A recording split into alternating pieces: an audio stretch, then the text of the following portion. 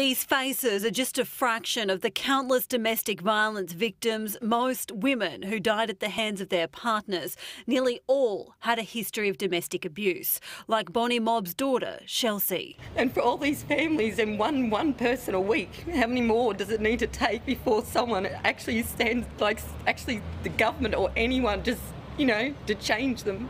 The murder of Teresa Bradford by her estranged husband David while he was on bail has spurred the government into action. She will be looking at the, the onus of proof when it comes to bail matters. The Attorney General will review domestic violence bail laws, particularly for the charge of strangulation.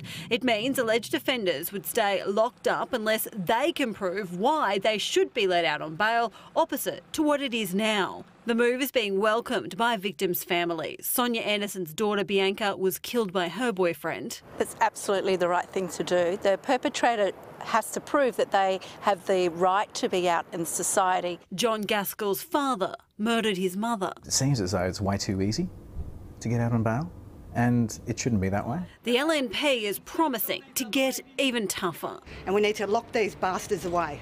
But the lawyer who got David Bradford bail says that wouldn't have mattered. He would have gotten bail on any sort of reverse onus test that might apply, in my view.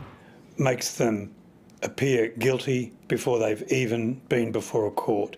The shake-up will also look at making it mandatory for domestic violence victims in Queensland to be notified if their alleged perpetrator is going to be granted bail.